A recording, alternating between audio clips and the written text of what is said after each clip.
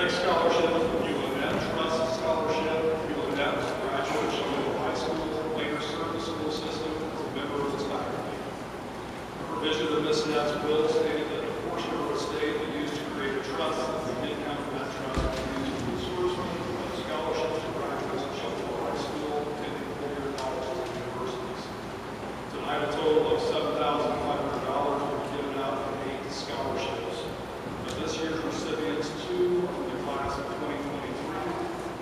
First,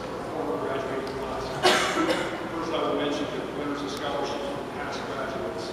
Ella Tynan, Rachel Brumberg, Madison Sista, Ethan Rice, Matthew Grad, and Holly Richardson. The scholarship